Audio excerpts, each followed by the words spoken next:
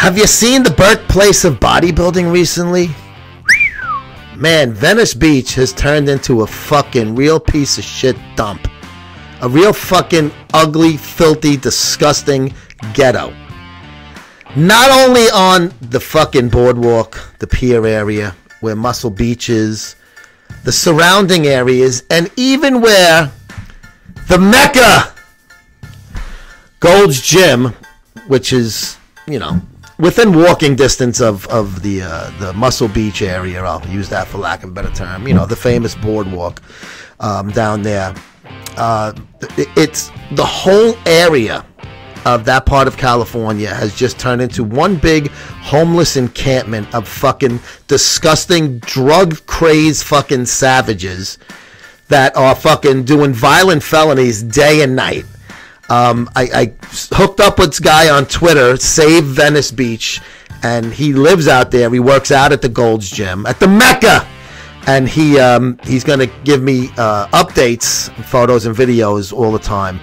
Um, uh, I haven't been out there because there's been no shows. California's been shut down, with you know, for the most part uh, LA Fit Expo and all of that stuff. Nothing's been going on in California, so I haven't been out there since the LA Fit Expo in January of 20, right? You know, two months or so, three months before COVID and all of the lockdowns and shit.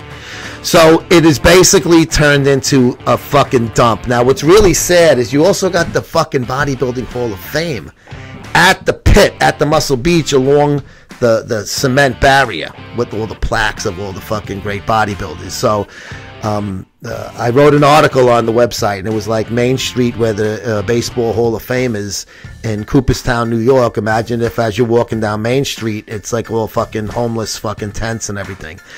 Do I'll show some B-roll here, but uh, this is just going to be just the the beginning. I, I'm I'm to keep doing these fucking videos and keep making everybody in our industry aware aware of the fucking disgusting pieces of shit in California, the politicians have turned what used to be like the you know you made a pilgrimage. You went and saw the first Gold's Gym, which is a landmark. Uh, it's just an empty building. I got a pretty interesting video of the front and back of it uh, from years ago, from 2012, when I worked with Flex. I have it on my YouTube channel here. Um, but these videos are what's going on now. Uh, people fucking fighting, you know, fucking baseball bats being swung and shit like that. I mean, it's just fucking homeless, drug addiction, fucking disgusting, fucking Neanderthals. It really is it, it, it's it's a shame because this is the sport that uh, I chose to be in the industry of, and that is where you know Arnold Franco, all of these all these guys, the original Gold's Gym, Muscle Beach, the Pit. I mean, we all fucking you know we've all gone there as fucking fans. I've gone there a million times as a fucking uh, journalist, and you know, first time I went like 1990 or 91. We worked out at the original Gold's Gym, the rooftop when that was still open. Uh, we uh, not the Gold's, the World, excuse me. But we hung out by the pit and all of that, and all the beaches, and it was cool. You know, we I I had a fucking blast. You know, we did go to Gold's Gym, the current one, um, and to see that now, especially after being in this industry and being there for numerous photo shoots with guys and stuff like that um, as part of uh, muscular development and flex and muscle and fitness, and then also muscle sport, of course. Also, it's like, are you fucking kidding me? You're letting these fucking animals fucking just take this fucking over. You know, it's disgusting. And you can thank Newsom, Garcetti, all of these pieces of shit, Democrats, fucking liberal bastards out in fucking uh, in in California. But hey, don't let that hold you up from going to musclesportmag.com slash store. Look at that. Greg Valentino shirt, first issue ever. You can get the fucking back issues. You can get subscriptions. You can get single issues, and of course, all the apparel. I got a bunch of the covers on T-shirts now. Sizes range from fucking like extra small to like 6XL in some of them with a plethora of colors. Plethora, of Alice. So make sure you go to our store page, check out what we have to offer, and I'll keep you up to date on this. There's going to be a lot fucking more where this came from, these videos and photos of the shithole that is Venice Beach. Hey guys, it's Cheyenne Hacker, aka Guns and Weights on Instagram, and you're watching Muscle Sport TV.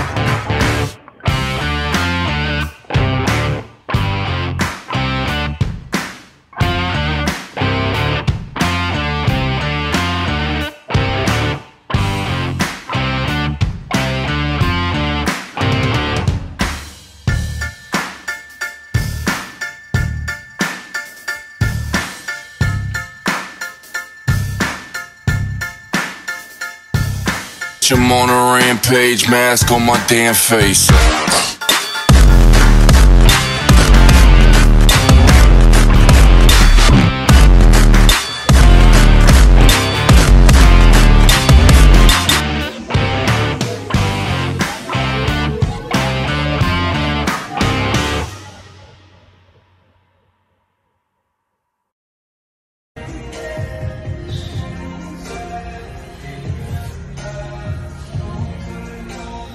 There you go.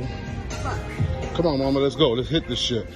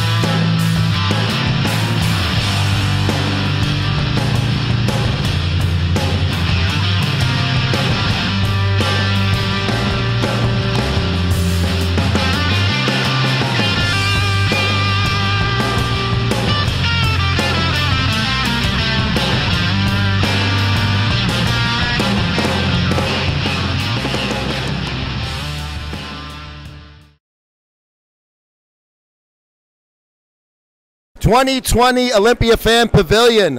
What's going on, my friend? Long time no see. You're right, man. Good to see you again. Richie B right here. You know I hang out with Lee Haney a lot. Spoke to Lee Haney actually this morning, and he'll have your predictions for the uh, Mr. O later on tonight. But my my vision and my opinion on the uh, Olympia. First of all, thank you to uh, Mr. Solomon. Thank you to Jake Wood for everything that's going on. The men, top three: Brandon, Phil, Big Ramy. I spoke to Big Ramy this morning as well. He is confident. He got this. But you know I'm really close to Brandon, so you never know, man. Brandon looked really good, polished. The bikini girl just got off, and you know my girl Sonia B. Lewis is a big fan of Jen Dorie, so Jen Dorie got my top win, and hopefully she gets it. But other than that, the Olympia looks fantastic. The fan people are fantastic, and no, you do a great job with everything you do on social media, brother. I appreciate it. Enjoy 2020 Olympia. Thank you. And speaking of things that look fantastic, that's what MSM brings you.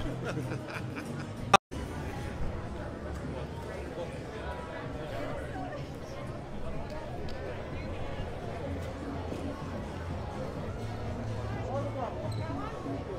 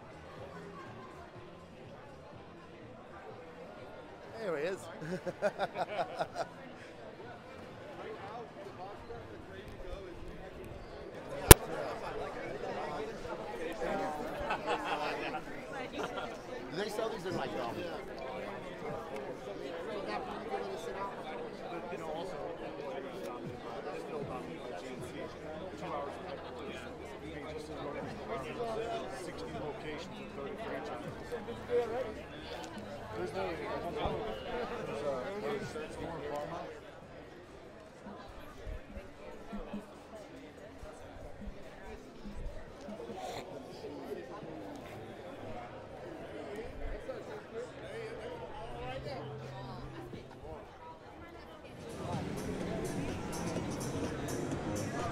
adorable.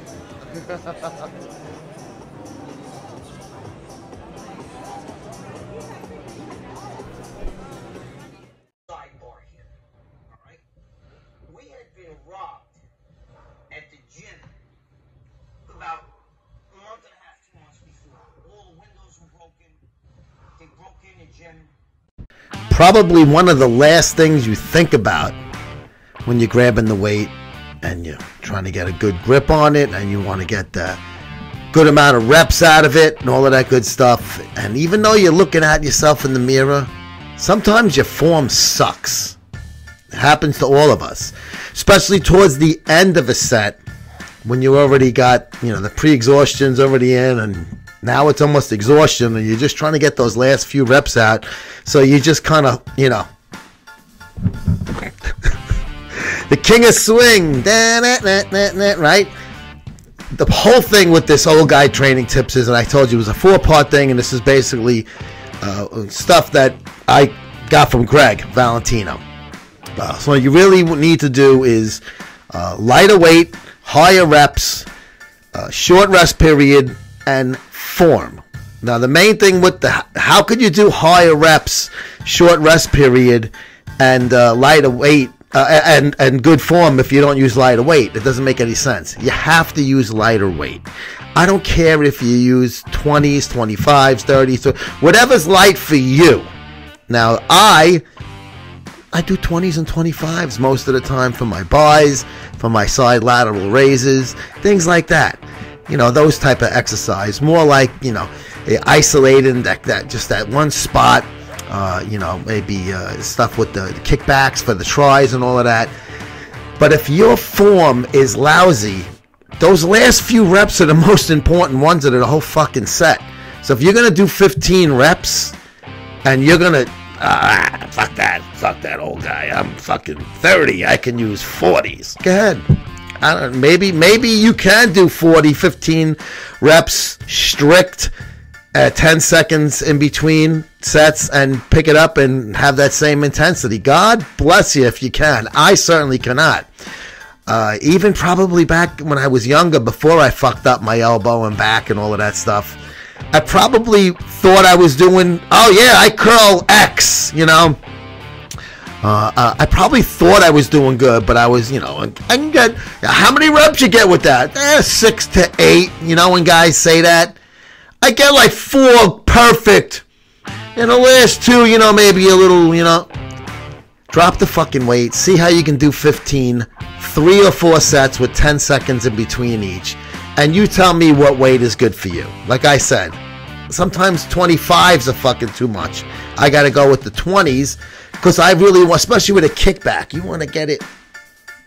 You don't want to do this. The fuck is this? hey, Brad Lidge? was that his name? I don't know. Oh, no, Kerry, whatever the fuck. That pitcher's name. Brad Lidge was on the fucking 09 Phillies. Jesus Christ. I'm, forget about it. Go with the lighter weight. Go with the short rest period. Do those higher reps, but do the form right. That's you, you gotta you gotta stick to strict form and do the whole fucking thing. If you want to do half reps and stuff like that, do them as kind of drop down set, kind of superset, whatever you want to call that kind of thing. You know, like a lot of times when I'm doing like a hammer for my chest, I'll do my 15 reps full. And then I like sometimes when I'm doing like the uh, the the incline, I like to just do like 10 reps at the end of my 15 of like just a third of the way up. The decline one I like to or all the way out and really squeeze that chest in. So just give it a shot. Listen, if you can do more weight, God bless you. But if your form sucks on those reps 10 through 15, you're missing the whole fucking boat. Hey, speaking of fucking getting energy and doing right in the gym, Vince'sProducts.com, also Vince'sMuscleShop.com. This is their pre-workout. So check them out at Vince'sMuscleShop.com and of course MuscleSportMag.com slash store. Rich Piana Summer 2015 t shirt, back issues, subscriptions, single issues, all your stuff at our store page.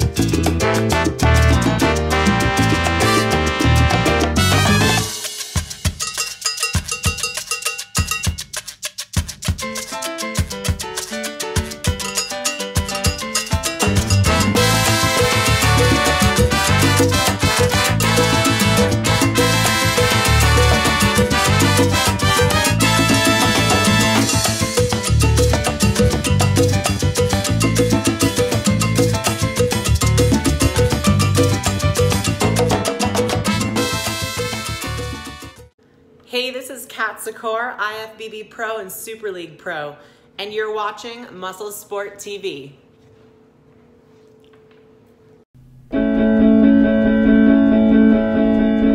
And in the end, the love you take is equal to the love you make.